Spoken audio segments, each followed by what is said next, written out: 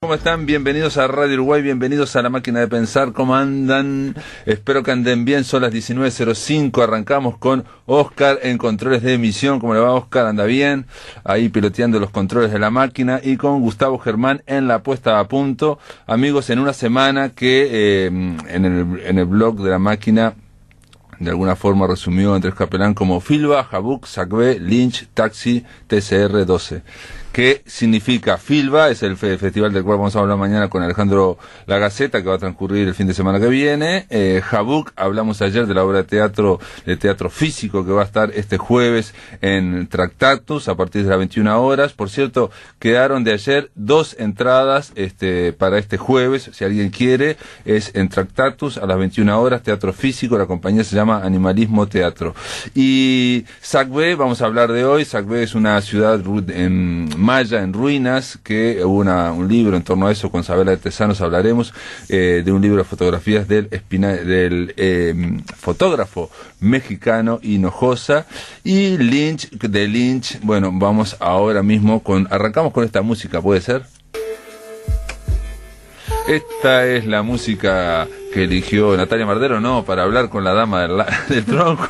¿Cómo andás, Natalia Mardero? Solo para, para entendidos, todas esas, pistas que estamos dando.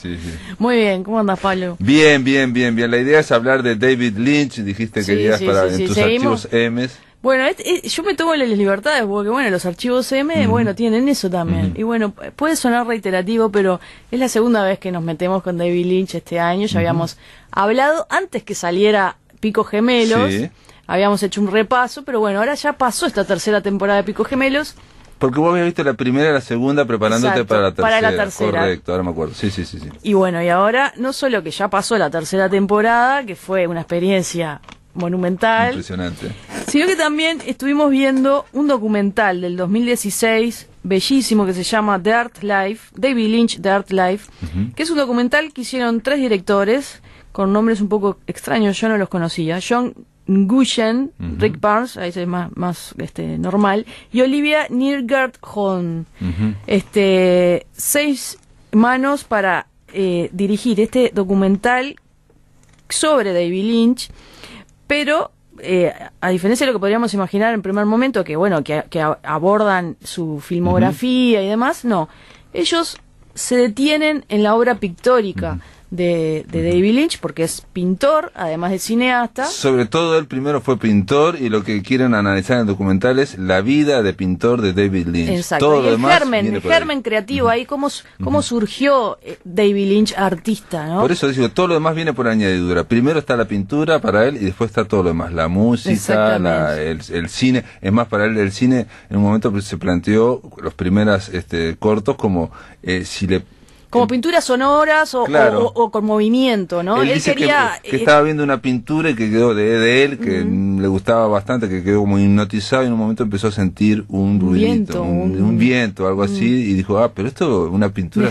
con sonido, como que estaba inventando la polvo. Y ahí empezó a experimentar con el tema del cine. Bueno, y, y tiene un, un, formato este, muy particular este documental porque se desarrolla básicamente en lo que es el taller, el, el, taller donde trabaja en Beverly Hills, es decir, que es, un, se ve que es un espacio añadido a su casa y todo transcurre ahí, son, son charlas con él, ¿no?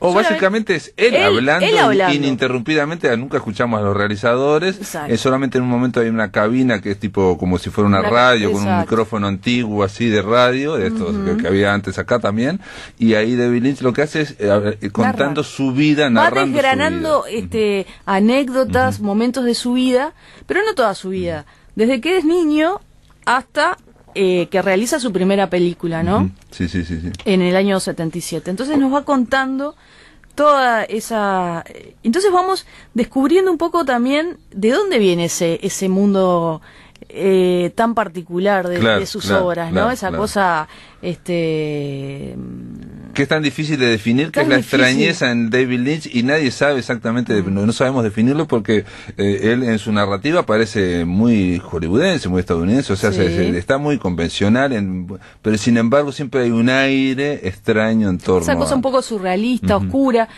Yo me puedo pensar también, es, debe ser un tipo complicado, oscuro, y sin embargo, cómo él eh, también ha hablado tanto de la, la meditación y, y esos estados como de felicidad y de paz que le permiten justamente meterse hondo en el inconsciente y, y bucear y sacar estas imágenes tan extrañas que él nos después nos lleva. Bueno, la pintura, ¿no? La pintura él, él plantea que Francis Bacon, el, ¿no? El inglés y Dennis Hopper, eh, Dennis Hopper, no, el otro Hopper. Edward Hopper. Edward Hopper, este. Que eran sus eh, referentes, sus ¿no? referentes. Él dice una frase extraordinaria para cualquier artista, me parece que es esta, dice.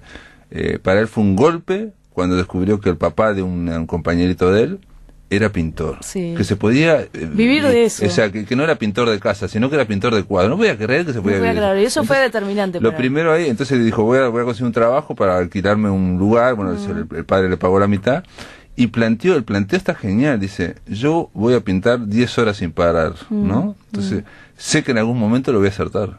Exacto.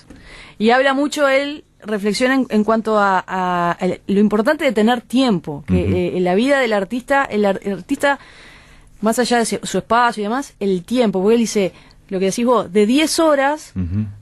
Eh, seguramente va a ser una porquería la mayoría de lo que sí, salga. sí, sí, Pero ahí voy a tener tiempo para llegar a lo que quiero llegar, ¿no? O que Bueno, surja, que surja lo que, que digo, que, que me descubre, digo, acá haya un accidente, un error, y entonces ahí, ahí me doy la cuenta chispa que, ahí. claro. Este es interesante eso que decís. Y además, yo me, me anoté acá. eh, el documental empieza con una frase de él que es buenísima y que explica también, y es el puntapié para todo lo que sigue, ¿no? Que dice, siempre que creas algo, un cuadro u otra cosa, te deja llevar por tus ideas. A veces es el pasado que conjura esas ideas y las colorea. Aunque sean ideas nuevas, el pasado les da color Ujú. cómo el pasado es tan importante para él, ¿no? Esa vida familiar eh, un poco idílica también, ¿no? Totalmente idílica. El, el- el tema, el problema, no sé cómo llamarlo, es que su, su, su familia y su pueblo y su casa y su familia eran, eh, él era un boy scout, todo era, era, era la, eh, perfecto. eh, la familia de eh, americana, el sueño americano, pero, a- años pe- 50. pero ¿no? realizado, digamos, o sea, sus padres jamás discutieron, jamás hablaron uno más arriba del otro. Entonces él te- vivió de eso hasta que encontró la otra mitad siniestra del mundo, que la encontró en la calle y encontró otro Claro. Mm. mundo, y él iba y venía. O sea, es terciopelo azul es, Es eso. es- es- Claro, Terciopelo Azul es, eh, eh, todo la- el comienzo es, es como un homenaje a esa vida Sí, bucólica y, y- y- y idealizada. Eh, es interesante las cosas que él recuerda de niño, ¿no? Esas imágenes que nos transmite, la- eh, de estar jugando en la vereda, en la calle, y la primera vez que ve a un- una mujer desnuda, ensangrentada, ensangrentada, que lo sí. debe haber Sí, sí, sí. choqueado muchísimo, ¿no?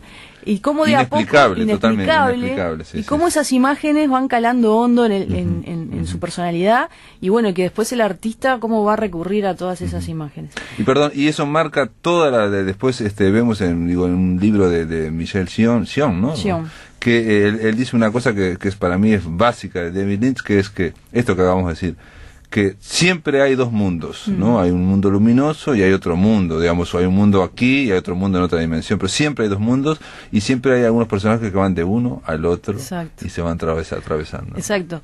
Este, y, y eso, bueno, la- en, en este documental esas cosas se, se van, este, eh, se van demostrando. Está muy bueno el, el manejo de, mm, de las imágenes de archivo, ¿no? Hay muchas películas familiares Sí, que podemos sí, ver sí, a David. Lynch de jovencito, de niño, muchas fotografías que van haciendo como el relato mucho más este ameno. Y es genial también eso que decís, como él, hay un quiebre también en su vida cuando él se va a estudiar cine a, a Filadelfia, que él dice que en ese momento era una ciudad i- industrial, un poco venida menos, y que también eso este fue un eh, fue movilizador para él, ¿no? No, y está el artista frente a los padres, por Mm. ejemplo. Dice, en un momento el padre que tenía problemas con el padre, claro, el padre era, era no sé si ingeniero agrónomo, Sí, trabajaba para el forestal, digamos, Estado, un tipo sí. que, que, que, que ganaba de, de alta jerarquía y Mm. que quería que sus hijos, bueno, fueran, hicieran carrera. Claro. Y entonces lo, lo va a volver a Filadelfia y, y él lo, lo hace bajar al sótano donde tienen distintas mesitas, Sí. distintas clases de bichos en descomposición, Sí, ¿no? para O sea, usarlos en sus obras, para ¿no? usarlos en las pinturas, ¿no? Entonces él mira todo eso, dice que el padre lo mira y entonces van subiendo una escalera, lo, lo, lo- lo narra cinematográficamente, Sí, o sea, sí, con el sí. Mm. papá, no sé qué, y él no sabe por qué se da vuelta y en el momento que se da vuelta le ve la cara al padre como diciendo, no, pues esto ya está perdido. Él estaba está feliz perdido". mostrándole todo eso al Claro, padre, ¿no? Y mi hijo Y- está loco, está sí, perdido, sí, sí, digamos, sí, ¿no? sí. se perdió. Es fuerte. Y ahí dice el loco, ahí se, bueno, se enojó mucho. ¿no? Sí. Este, no, es tremendo, tremendo. Todas las anécdotas. Este... De que hay que cortar, como que le- tuvo que cortar con la familia prácticamente, o por lo menos a nivel eh, ¿no? psicológico de alguna forma, ¿no? Sí, sí, sí. Sí, sí, sí. Bueno, y, y, y todo, ¿no? Toda esa, ese, mm, lo que decías vos hoy, el tema de cómo se fue metiendo, pasando de la pintura al cine, ¿no? Como, este, haciendo como experimentos, hay unos cortos ahí de, de David Se Lynch pueden ver se en pueden YouTube. ver. En realidad, el, el documental va hasta, hasta que hace cabeza borradora. Exacto. Eh, eh, hay un, voy a decir una frase de él para que, para que vean lo que piensa David Lynch. Dice, cuando duermes no controlas tu sueño. Me gusta sumergirme en un mundo onírico, pero fabricado por mí. Un mundo que yo haya escogido y sobre el que tenga el control. Pues, Es clarísimo. Es que hay, yo no sé si fue en, en, en este libro o en que decías eh, o en el eh, Casa- Atrapa el pez dorado, que es un librito de él, que es como una especie de memorias muy cortito, así con reflexiones, que es muy lindo. Y ahí él decía este mm, que hay, hay gente que le gustan las películas en, en que se eh, puede entender todo, ¿no? Claro. Y hay gente que le gustan las películas en que hay lugar para soñar. Entonces dice, a mí me gustan esas películas, Ah. Claro, ¿no? En que uno puede este, perderse en una escena, decir que no todo tiene que estar súper Sí, sí, sí. explicado. Pero tiene que tener escenas intensas. Lo que él, este, yo después de ver ese documental, me- estaba viendo Twin Peaks, esta tercera temporada, y claro, lo- a mí me cambió la cabeza en el sentido de que él es un pintor. Entonces a mí, entonces cada escena es una pintura, es una Totalmente. composición, son como cuadros vivos, se quedan muchas veces quietos, Sí. cuando hay una impresión se mueven solo la cabeza. Esos fin. silencios incómodos, ¿no? Silencio, bueno, el tema de que él, él es diseñador de sonido, Mm. este, porque ¿qué pasa? De la pintura al cine pasa a través del sonido. Por eso en en Blue Velvet, en Terciopelo Azul, es una oreja la que encuentran. De la- del crimen solo se encuentra una oreja, digamos, ¿no? Y este, y, No, y el trabajo sonoro de Pico Gemelos en esta tercera temporada es una cosa y la hace él. que la hace él. Sí, además. en los rubros técnicos está el diseñador de sonido David No, es una, es una bestia. Es un tipo que realmente. eh, no sé qué edad tiene ahora, setenta y pocos años. Pero cómo este, mm, ha encontrado los, los caminos para realmente expresarse con bastante libertad. Porque si bien Pico Gemelos, la primera y la segunda temporada, fueron marcaron una época y Sí. demás, él no estuvo muy contento con, con el Sí. resultado porque tuvo como ciertas dificultades eh, de libertad creativa. Y sin embargo, en esta tercera temporada se nota que hay como Sí, sí, sí. eh, una libertad total, ¿no? Que Yo hizo creo que realmente lo que se le cantó. En esta tercera, en realidad lo que hace es como condensar toda su carrera. Yo ahí vi par- parte de otras películas, vi parte de, de- digo, ahí eh, todo. y que se sacaba los gustos, ¿no? Se- se- Uno ve que las a todos sí, los que quería, exacto. Todos le dijeron que sí, en fin, y este y yo creo que de alguna forma en un momento lo estaba, estaba viendo, no sé en qué escena, creo que la que te comentaba, la de David Bowie, bueno, en fin, que está tiene un sueño, Mónica Bellucci, aparece- o sea, esas cosas totalmente inesperadas y pensé yo dije, este hombre no quiere hacer algo creativo, original. Este hombre quiere marcar tendencia. Quiere decir, dentro de 20 años las series van a ser como esta. claro. Tipo como hacía David Bowie, por decir, Mm. la música, digamos, ¿no? O sea, como que quieren marcar tendencia, aparte de ser algo creativo. Mm. Es un artista muy extraño, pero que a la vez despierta mucha empatía de mucha gente, ¿no? Que como que, este, más allá de lo inentendible de, Sí, de mucho sí, de, su, sí, de su obra, uno no puede quedar indiferente ante lo que hace, ¿no? Este, yo el, el último capítulo de Pico Gemelos realmente no entendí mucho, No, no, no. porque claro. realmente fue un delirio, pero Sí. era tan bello de ver, este, Yo te decía que no todo tiene que ser en el en el en el, en el antepenúltimo y en el penúltimo increíblemente eh, Sí, te- parecía que todo cerraba. empiezo- empezó a cerrar todo y todos empiezan a digo me me acuerdo cuando los también decían ay jamás va a cerrar va a cerrar Sí. y bueno cuando lo cerraron al final pero acá empiezan a cerrar todo y en el momento que empieza a, a, a cruzarse y a- cuando decís, y- bueno, ya, ya- y ahí ya no me gustó tanto. Cuando empieza la explicación, a mí por lo menos me, me dio la impresión de, bueno, está, son dos mundos, esta es una, una entidad negativa que vino a este mundo, en fin, Sí, no sí, sé sí. qué. O sea, eh, Sí, me cuando me empezás a pareció una sentir la comodidad- la Eh, comodidad, ¿no? De- y vino, no nos- vino no el funciona. final, y el final ahí, pum, en la cabeza. Y ahí apareció David Lynch como Claro, claro. este haciéndonos este lo que nos hace siempre, que es eso, ¿no? Que yo creo que lo hace, no, te, te pregunto Natalia, a ver, a ver si capaz que no, La poesía no hace eso también, uno está leyendo una poesía y de repente no entendés, bueno, pero para mí esto quiere decir esto, y empezás vos a, a, a- a buscarle un sentido. Exacto. Él te obliga a buscarte que vos le encuentres un sentido. Exacto. mover, estoy- la- mover este, las neuronas un poco, además. Y sí, eso, este, si fuera eh, si no, no sería David Lynch. David Lynch sería un producto más de televisión, una cosa para entretenerse y nada más. Digo, es un producto que eh, lo que hace que, que te, te, obliga a, a, meterle cabeza y pero no solo porque no es no se trata solo de entender o tratar de, de, explicar encontrarle explicación a todo lo que aparece. pero hay un humor también atrás hay mucho humor. hay mucho humor no o sea, hay que tomarse pero creo que, que también enseña a, a, ver las cosas como de otro modo también no que no todo tiene que este ser o entretenimiento o algo que yo este, tengo que entender todo sino dejarse llevar por esas imágenes, por esos personajes, por esos diálogos, por esas atmósferas que es algo que se ha perdido eh, incluso en el cine, en la televisión, ni que hablar, ni, ni, existe eso. Yo decía que las miniseries en general, en todas, hasta en las mejores, ahora estoy viendo Tabú, por ejemplo, que es muy buena, pero en todas yo noto que en algún momento hay un poco de relleno.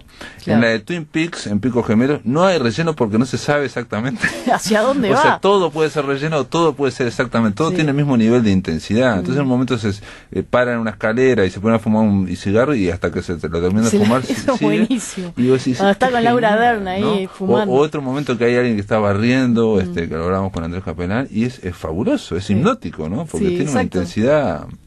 Es este, una experiencia distinta. Este, Exacto, es una experiencia religiosa. Es una experiencia religiosa. Bueno, tienen que ver este documental que se llama The Art Life, que se consigue ahí en internet. Realmente, sí, para conocer un poquito más de este director tan enigmático, y aparte que es un documental hermosamente hecho, muchas reflexiones sobre el arte, sobre el cine, muy lindo, mm. muy lindo de ver. Sí, sí, muy austero y sobre todo muy plástico porque, digo, una de las cosas que vemos en ese documental es un montón de pinturas de este hombre, ¿no? Y cuando vemos las pinturas ahí vemos que e insisto, que todo cierra, ¿no? Esa mm. cuestión orgánica, esa cuestión medio surrealista, esa abstracción, esa cuestión de la buscar la poesía, ¿no?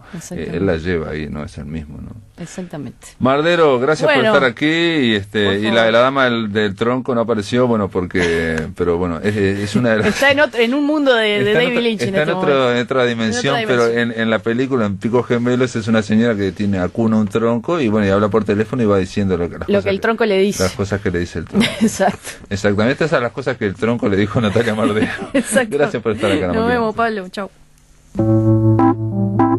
En el aire de Radio Uruguay, La Máquina de Pensar.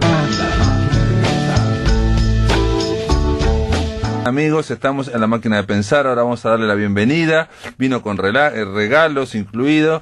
Eh, Sabela de Tesano, ¿cómo andás? Hola, muy bien, con mucho gusto de estar acá, por supuesto, y con esto más aún, este libro que, bueno, que es todo un proceso, como, como ya recordarás.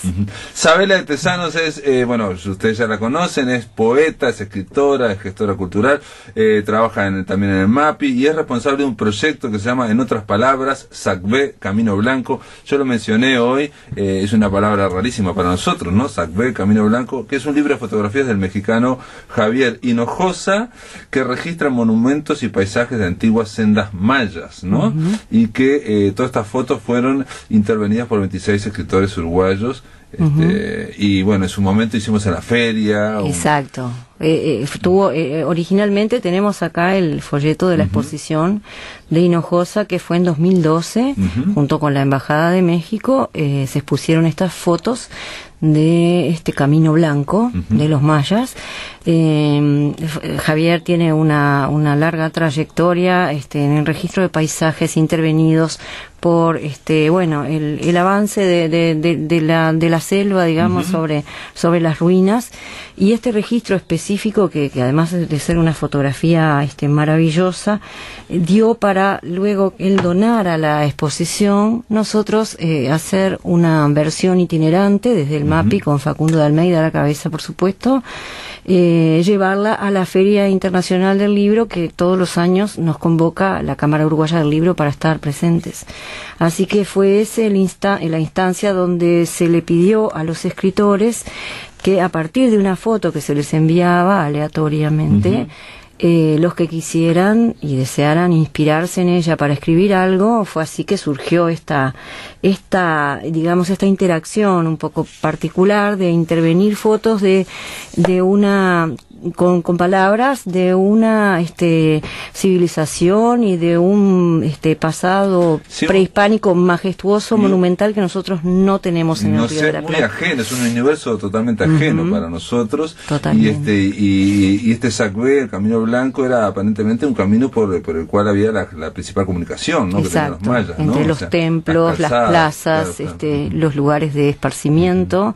Por lo tanto, bueno, mm, empezó a ser algo muy interesante este, lo que se dio, porque bueno, aquí hay un imaginario que está predominando desde diferentes miradas, ¿no? Desde los que conocen algunos lugares, de los que imaginan, de, lo que, de los que ven este, a la ruina intervenida por, por la Por la por la. Exactamente. y los que, como te decía, los que, bueno, de alguna manera tenemos esa esa digamos es- ese reconocimiento verdad de como latinoamericanos de un de un lugar este antes de la conquista verdad en un territorio donde no existe prácticamente huella por lo menos Humana, digamos, o sea, de- huella claro digamos. sentido, ¿no? en este sentido este es bueno es, es muy particular Pero vos verdad convocaste, a, a- hay que decir que convocaste a narradores y poetas, te agradezco Narradores la invitación, eh, por, Isabela que me, hubiera, me, me hayas invitado a mí entre los muchísimo 26 gusto. Eh, inscritores, pero en realidad este era, un- era un- una apuesta, si se me permite, un poco arriesgada. un desafío Porque sí, me acuerdo que hubo una, una, una, exposi- una- un, una, un experimento similar también que hizo la Biblioteca Nacional Es con unas cierto, fotos. la mirada escrita. La mirada escrita Ujú. que la hizo Inés Larreborge, creo que eran con Sí. fotos de viajes de arquitectura de todo el mundo, en fin. Y también había un poeta y un narrador, una poeta y una narradora, y este,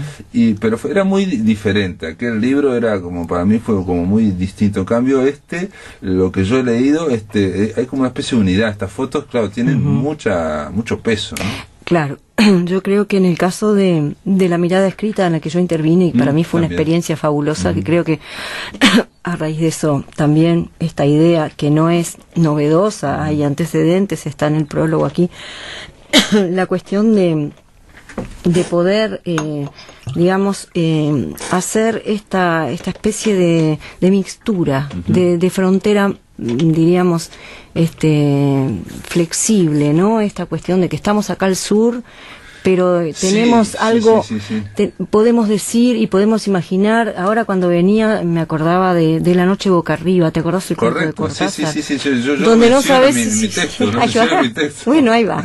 Si la ciudad, eh, ¿cuál es el sueño, no? La ciudad o, o, ¿Quién está o esta- soñando? Este que está en medio de la selva este, a, a defenderse de aquellos que, Exacto, que van a atacarlo como indígena, ¿no? Entonces, este, ese sopor que lo hace ir y venir, bueno, capaz que está acá planteado de alguna forma, Sí, sí, sí, sí, de que- alguna forma, más allá de tu texto, ¿no? Porque hay textos que evocan cosas personales, familiares, hay otros que tienen que ver con este el conocimiento, como te decía hoy, del lugar, otros que dialogan con la fotografía de una manera e- es Poética, sí, claro, sí, sí. no, y Bueno, bueno, y hay a mí por lo menos poesía me obligó y también a, prosa. a tratar de, de- de investigar un poco también en torno a, a estas fotos y en torno a lo que es eh, Sacbé y en fin y este y, y la ciudad jaguar por ejemplo. En fin hay una serie de cosas pero lo que es cierto es que que las fotos son muy es en- son en blanco y negro y, y lo que decís vos es un mundo un universo que se quedó en el tiempo no este mítico mágico hay una cuestión no y para nosotros uruguayos que nos creemos digamos todos europeos en fin no este eh, representa igual esa cuestión de la escritura del dios también de Borges no el jaguar Eh, mira, yo estaba en los días previos porque ya hemos tenido que comenzar nuestro itinerario para presentarlo, ya que este es el, el pro- es un proyecto ganador de fondo concursable como proyecto editorial, ¿no?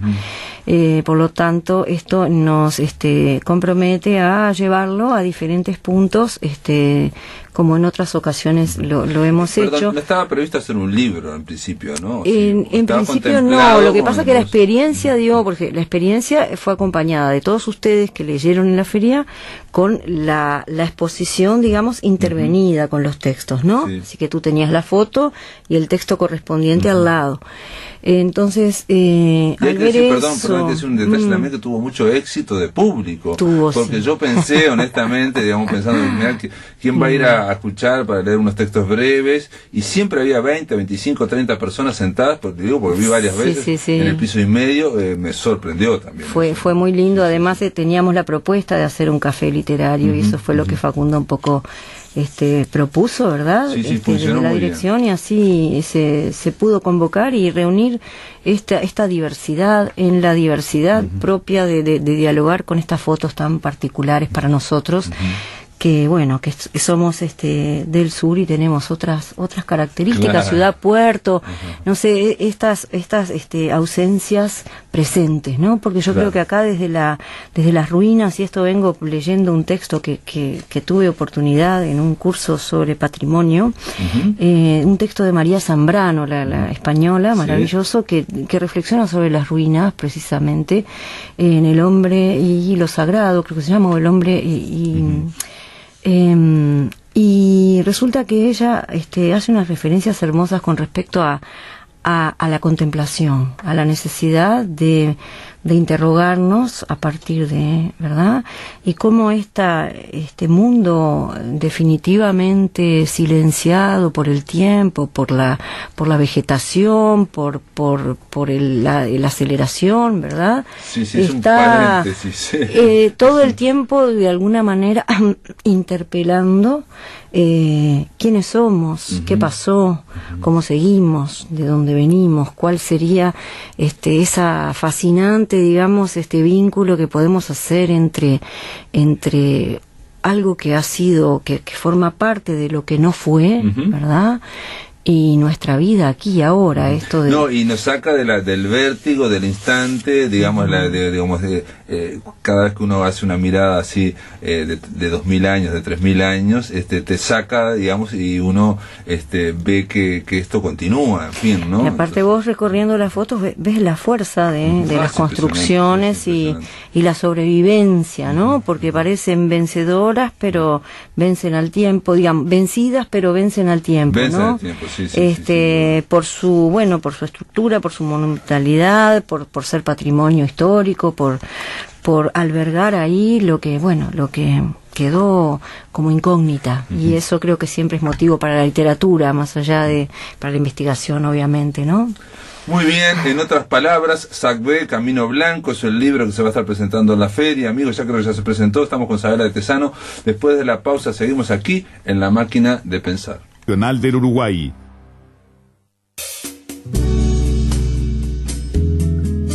Si quieres comunicarte con la máquina, envía un SMS al 099 78 0066. Correo electrónico a la máquina de pensar arroba adinet.com.uy.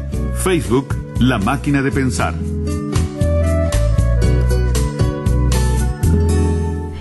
Amigos, estamos en la máquina de pensar. Yo tengo entre mis manos un libro hermoso, se llama en otras palabras Sacbé, Camino Blanco, que es fotografías de Javier Hinojosa, un fotógrafo mexicano, intervenidas con textos de escritores en Uruguay. Estamos con la responsable de este proyecto, que es Abel Tesano, este proyecto que partió hace unos años, que fue en la Feria del Libro también. Ahora la, próxima Feria del Libro comienza el 26 de septiembre. Hay que decirles, amigos, que este proyecto, eh, que en principio eran solo exposiciones, de fotos y la intervención de los escritores uruguayos. Ganó el fondo concursable, con eso se editó este libro que se va a estar presentando, que ya se presentó, ¿cómo es? Sí, ahora es así, nosotros tenemos este, la primera presentación en San José, que fue la, semana pasada, eh, invitados también, este, siempre con, bueno, las, los requisitos de, de, la ciudad que te quiere recibir, ¿verdad? Este, que son, este, digamos, condiciones de, para, para solicitar el fondo. Así que estuvieron acompañados en, en, esa ocasión. Este, algunos estaban eh, presentes en San José por la Bienal de Poesía, que era ah, que estaba yo estaba por la Bienal un poquito también. Entonces, bueno, estuvieron, eh, sin embargo, narradores. Este, Claudia Magliano como como poeta que tiene un texto breve eh, Alicia Migdal con su texto de prosa poética y Luis Fernando Iglesias con eh, su prosa, ¿verdad? Este, así que bueno, había otros de los que están participando del libro que no podían estar por diferentes actividades. Ahora lo presentamos el día 28, o sea, partimos del 26 con un stand en la feria, este, convocados por la Cámara, eh, con la, este, con las embajadas de cuatro países latinoamericanos, con eh, Colombia, eh, Perú, Ecuador, Perú y México. ¿Y eso va a estar en el primer Eso piso va a o estar no? en, la- en el Ah, hall. en el hall. Ujú. Con ellos coordinamos actividades. Va a haber presentaciones de libros y, y entre ellas la de este libro, que es el día 28 a las 19, ¿sí?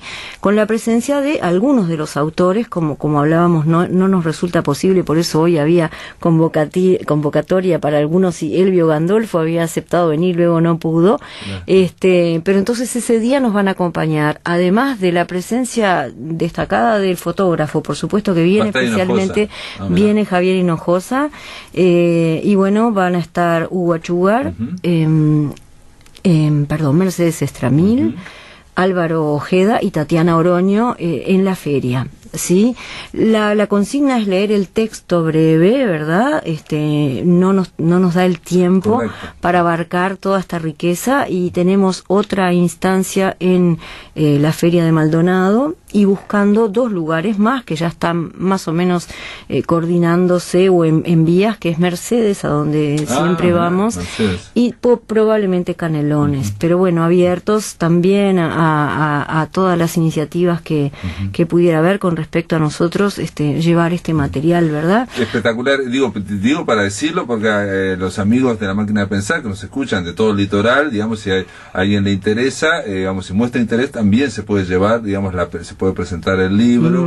Yo no sé si hacen la exposición de fotos o no las hacen. En algunos casos lo hemos hecho, no Es siempre es posible, claro. claro, para acompañar es espectacular. Eh, en aquel momento se pudo hacer con los textos, Correcto. que es lo más lindo, porque tenés la imagen, lo que probablemente hagamos es proyectar las imágenes Ah, bueno, pues durante la lectura. las imágenes, lo Eso cual es súper agradable para, sí, para sí, identificar sí. el texto con la, con, con, digamos, con la fuente de inspiración, más allá de que hubiera sido otra, la, tal vez este, lo que hubiera cada uno, ¿verdad? Este, podido plasmar a partir de, de, de estas fotografías maravillosas.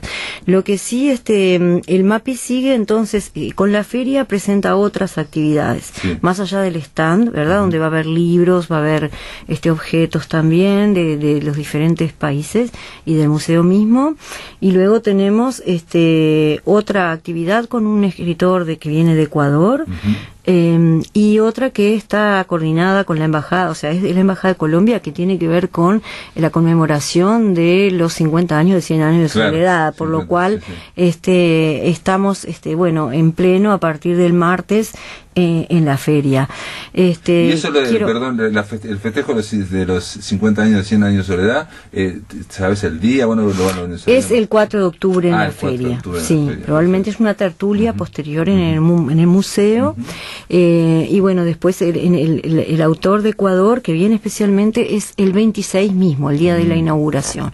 Y después tenemos la presentación también de una mm, este, antología que se llama Transfronterizas, que es de México también, donde se reúnen este, poetas jóvenes, mujeres, eh, son 38, hispanoamericanas, todas, este, y eso es a las 21, al mismo 28, o sea que va, va a haber, Ah, va a estar 20 el flyer por 28, ahí. El 28 va a haber muchas cosas. Bueno, pero sí, pero Estamos está bien eh, con, ¿no? con todo gusto haciendo esto y bueno bien, y, llevando ya te digo es decir algo algo que es como un proceso tú lo has vivido con, con proyectos que en alguna ocasión compartimos desde casa de escritores Sí, claro. desde un solo país y otros periodos Sonetti recuerdo donde bueno estas cosas cuando uno las ve este las, se, se ven materializadas y sueltas ya para que otro se encuentre con ellas verdad en, en la en la curiosidad de este material singular y también en la en la riqueza no este así que bueno Sí, sí, son cosas, digamos, son, son iniciativas que, que, que las haces y que no podés medir eh, todas las repercusiones que tienen, ¿no? O sea, después generan resonancias o generan, en este caso eh, saltan al medio, ¿no? Porque van a un medio que es una, un libro, una publicación. Sabes que creo que además, este, cuando algo trasciende el espacio-tiempo, ¿verdad? Este, y se lo pone a jugar, que en realidad es eso, ¿no? La literatura es un juego, es una propuesta lúdica. un sueño dirigido, dijera eh, Bravo. Bueno, eso es divino. Este, ahí es donde pasan estas cosas, ¿no? Donde de pronto no es la solemnidad o la seriedad de estos espacios solamente, sino la convivencia con estas interrogantes que nos acompañan como por nuestras identidades, por nuestras complejidades, por nuestros constructos. Este, mm, de alguna forma también es, es, enfrentarte al enigma del tiempo, de cuando estamos hablando de cosas de 2000, de 3000 años. ¿no? y, de, y de esta fuerza de una civilización, este, mm, digamos, este, desaparecida, ¿no? o sea, este, no de aquello del, del, encuentro de culturas, sino de una sobre otra, ¿no? Este, y, la lenta, el, el lento exterminio, ¿verdad? Por eso estas ruinas tienen la virtud de sobrevivir al tiempo y esto es lo que yo traía de Zambrano que me parece este genial esto de las de los vencidos que, que vencen por su digamos por su monumentalidad y porque responden a un proyecto humano difícil para nosotros de dimensionar en este tiempo. Pero lo que dice María Zambrano también es que la contemplación de eso, ¿no? La contemplación de eso. La contrapelo de todo genera un efecto en el que contempla, digamos, que es como una especie de paréntesis en su vida y entonces te saca un poco de la el vértigo del instantáneo, de lo fragmentario en el que estamos cada vez más inmersos y cada vez más acelerados, ¿no? Entonces, este, eh, en el primer bloque, eh, Natalia Mardero hablaba de David Lynch y David Lynch decía que hay que tomarse un tiempo, el artista necesita tiempo, ¿no? Este, y bueno, ese es el tiempo eh, para cualquiera que sea artista o no sea artista, digamos, ¿no? Pero para este, salir de, del esquema de su vida, ¿no? Exacto. Es como la, la magia de la, de la mudez. Y eso que se vuelve sagrado también, ¿no? O sea, porque es el enigma también, ¿no? O sea, el, sentido, el sinsentido, esta esta especie de oscilación que de pronto te hace frente a una un espacio así, ¿verdad? O, ante una un monumento así, bueno, el registro fotográfico, la primera acción poética, digo claro, claro. Esta esta visión, este ángulo y, singular y irrepetible donde hay un detalle que lo llamó y vaya a saber, ¿no? este hay, hay hay fotos y textos impresionantes con respecto a al tomar el detalle en lugar de la, de la imagen en, general, ¿no? ¿Querés leer este, alguno? Nos quedan dos minutos. Bueno, podría ser, eh, ya que Elvio Gandolfo quería venir, este, me gustaría, él tenía esta foto de, mm, hay, muchos, ¿no? Esta foto de, de la estructura de Tacna en Quinta Roo, clásico temprano, está la ficha debajo de, de, la foto, y él le puso, es un, como verás, es un laberinto, no sé si lo encontrás en la página 38. Sí, sí, lo vi, sí. Me llamó mucho la atención, es una especie de laberinto de piedra, digamos, como si se viera un túnel a través de las piedras. Un pasadizo, podría, podría ser podría este... ser de los romanos, pero podría ser de otro lado. podría ser la noche boca arriba, el que va, el que va boca arriba, este, con las antorchas, ¿no? Este, trasladado hacia el lugar del sacrificio. Y Elvio escribió así, espero que a Elvio le guste esta lectura, si está escuchando, y si no, este, lo tendremos a él para, para leerlo mejor. Esta vez habíamos entrado hacia un momento en la senda. Adelante se veían algunos tramos cubiertos, otros no. Adelante nuestro iba el jaguar, uno, invisible para todos, salvo para nosotros. Atrás nos seguían veintitrés jaguares visibles y un perro, cuyas patas sonaban distintos sobre el camino. Allá en el fondo había vegetación y luz de sol. No se alcanzaban a ver bien, daba la sensación de que algo nos esperaba. No sabíamos si amistoso o agresivo. Los humanos éramos dieciocho. El ancho de la senda obligaba a ir de a dos en fondo.